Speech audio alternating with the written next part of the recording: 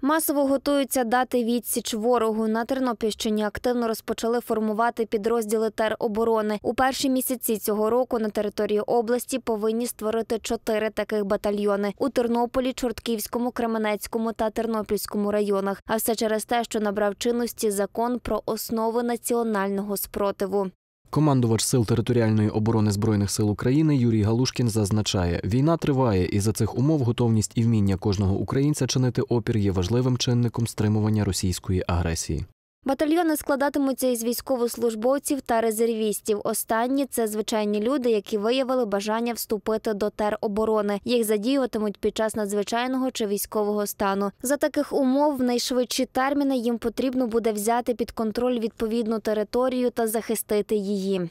В цьому права е, рівні, що у жінок, що у чоловіків. І відповідно, якщо жінки мають бажання, особливо жінки, які кафедру закінчували, або проходили службу, або є у нас от е, медики, взагалі у нас всі військово зобов'язані.